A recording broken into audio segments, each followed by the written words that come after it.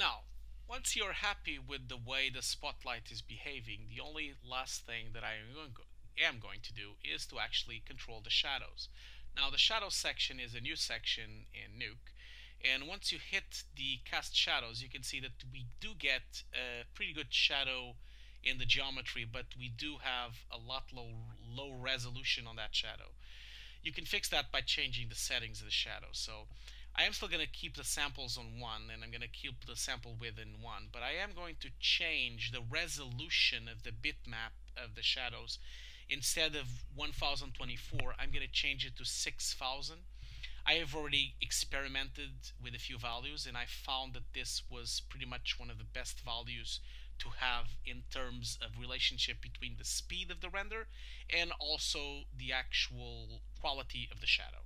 That's why I'm using this setup. Okay, so in this last section, uh, since we are uh, already with a very long tutorial, uh, I am going to basically show you a couple of the things that I've done uh, on top of uh, the comp that we've created so far. Uh, so I'll be showing you some of the extra little details that we've done to finesse the final comp. This stage, of course, is all up to you. Um, you can continue and continue to finesse because usually a shot like this would be a shot that in production would take a few days to, to make and not just a few a couple of hours. Uh, but um, you can always, of course, uh, open the final script that comes with this tutorial there are two scripts. There is the main script that starts the tutorial and there is the end script that is the complete final script. You can always open it up and try to study some of the procedures because some of the details on this script are um, a little more in depth uh, from the details from the actual tutorial. So like we like we said, we we worked our way from the beginning. We had a stage one which was a prep and lens distortion uh, where we did all the lens distortion uh, of the image. We had then a 3D tracking stage, which we did all the 3D tracking. We then did the stage 3 with all the modeling of the room. Uh, and this was a very important section because it helped us to reuse some of this geometry for other stages.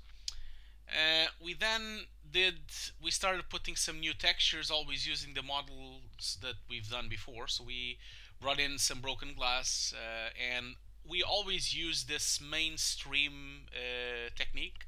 So we always had the mainstream of all the comp and then we just kept piping in every new layer. So in here we had the broken glass, then here we had some extra dirt that I put in.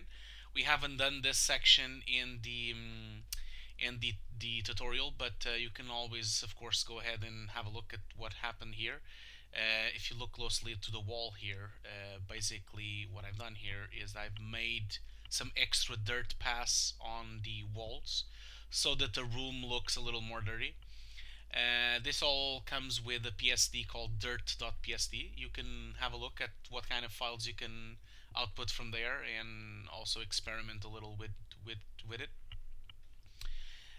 Uh, later on, we did uh, a lot of uh, blood. We we had several layers of blood, so I've divided the whole thing and basically comped some blood in the wall, some blood in the two uh, parts of blood in the table, one in the chair, and um, of course we also had the plaster hole in the wall.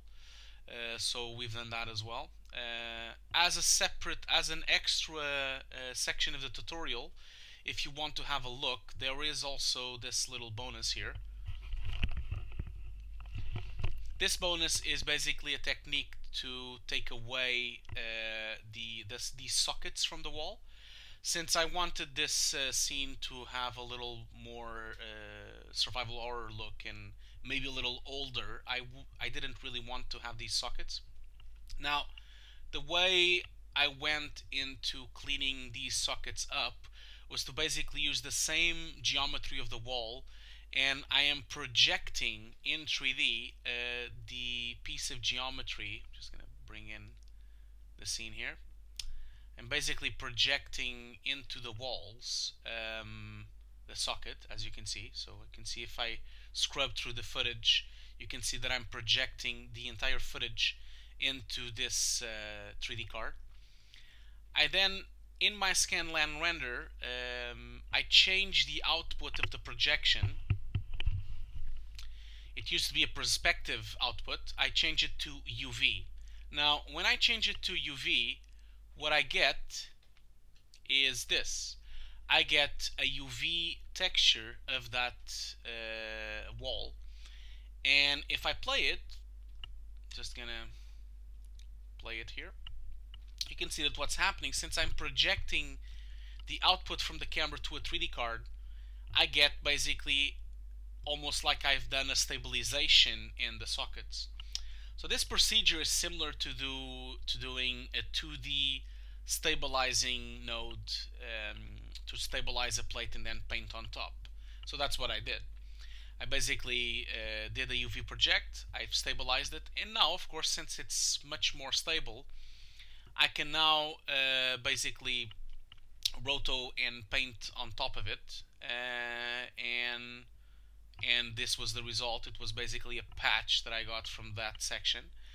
Once I have the patch I then pipe it into the same card this card over here is the same card as the one from the projection.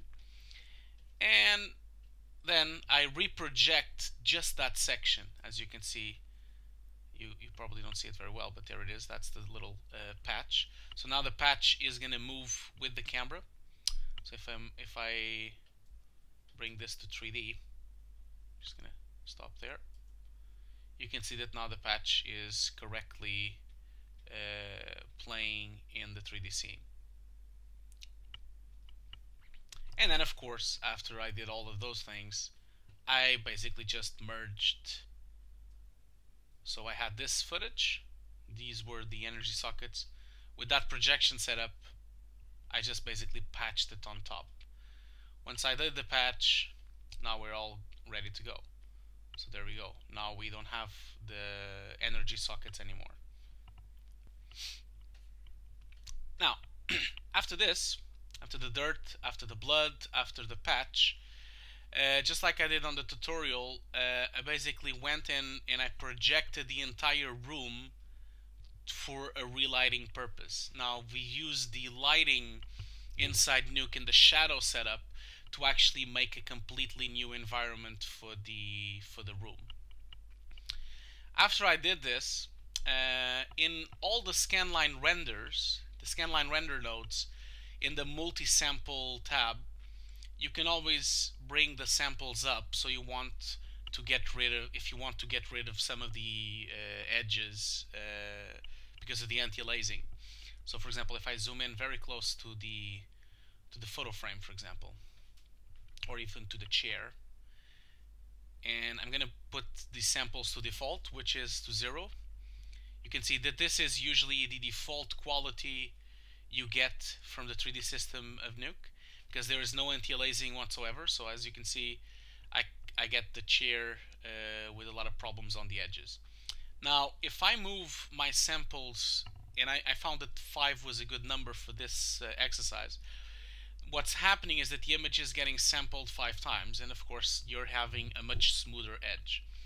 This is also a way of doing motion blur, but uh, for the motion blur, I actually used another process because I wanted the, the motion blur to be a little faster. So you can also open my script and just have a look at how I developed this, but I basically brought in a motion blur 3D. I'm of course assuming uh, prior knowledge of Nuke before this tutorial, so um, this is not a beginner's tutorial. So I'm assuming that you know how this works, but if you don't, at least you can always open the script and have a look. But this is basically creating the motion uh, vectors and then those motion vectors are being used by the vector blur. I'm also applying the shadow uh, not directly into the scan line uh, through the shadows being on here. So you have cast shadows over here. I actually turned this off because I brought in the shadows as a separate pass, as a separate layer, because it gives me a lot of more control and for those for that part I actually used uh, this one this grade uh, one here is the grade that is controlling the shadow so as you can see I have 0, 4 on the multiply, but if I bring it all the way up to 0, there is hardly any shadow. If I bring it, sorry, if I bring it all the way to, to complete multiplication, then it's all black. So this way I can control the amount of shadow that I want to have in my scene. Uh, I find that this is a much better use. And this is very basic. I'm, I'm just using the shadow mask as the mask of this grade node. Uh, and then you have this total control. This also allows you to actually, if you want, colorize the shadows because sometimes you have a hint of tint into the shadows. So if I wanted, I could now, if I wanted, just bring in, for example, some red into the shadows or if I wanted I can bring some blue into the shadows so I, I mean I it gives me a lot more control than to just use the shadows directly from the scanline render. There's also of course other things here. We have a z blur to do a little z depth and the z depth actually is coming from the actual z depth that the 3d system itself in Nuke creates.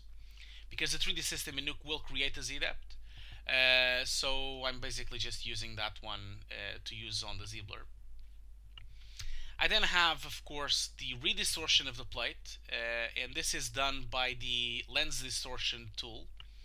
The redistortion of the plate happens by unticking the undistort. So the first lens distortion that we had had the undistort button on. Now if I uncheck this button, I get the reverse of the first distortion that we had. So that's what you're after. Uh, and then I have a couple of final tweaks. I have a vignette, I have a little sharpness, I have some grade nodes, uh, some saturation, I have a little glare that affects the photo here. I have a chromatic aberration uh, node. Uh, this node uh, comes from um, from uh, Nukepedia, so it's very easy for you to install, but it is converted to a group, so you don't have to install it. And at the very end, I have some grain uh, applied to the whole clip. One thing I did forget to mention was that I've also applied a flashlight texture into the scene.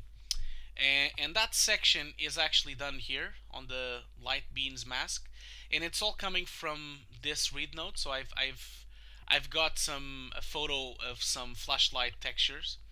I've tweaked the saturation of them. Uh, I then uh, roto and basically merged them in a way that I wanted. Uh, I then graded them so I would have the basic layout of a flashlight. So you have like always this middle section of light and always a little circle of light in the on the outer rim of the of the flashlight. I then project the entire uh, texture into the entire room this room here is an FBX export of all the geometry that we've done um, on the modeling st stage. I then get this. I get basically uh, a 3D room with this flashlight texture.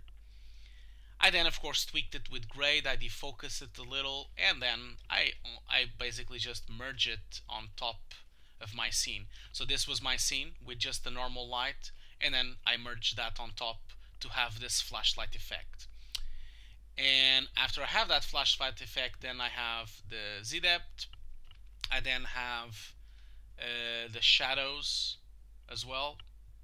So they are a little more intensified. I also have a little edge blur as well to tweak the photo frame. I have the redistortion of the plate. So now the plate is behaving like it used to be. I then have a little vignette. I have some grading, some glare, so chromatic aberration and some grain and voila then you get the final clip um, yeah so feel free to experiment and to have a look at the entire script. If you have any questions you can always um, you can always uh, email us. Uh, and um, once again I would like to thank uh, Ron Gambar for giving us this clip to use.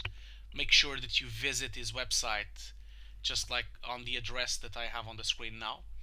Uh, it's rongabar.wordpress.com so please visit his website. He was very kind in giving us this piece of footage for us to use on this tutorial.